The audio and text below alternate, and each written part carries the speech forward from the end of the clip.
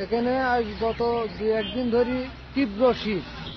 এমন শীত যে শীতের চোদনে আমরা বেড়াতে পারছি না।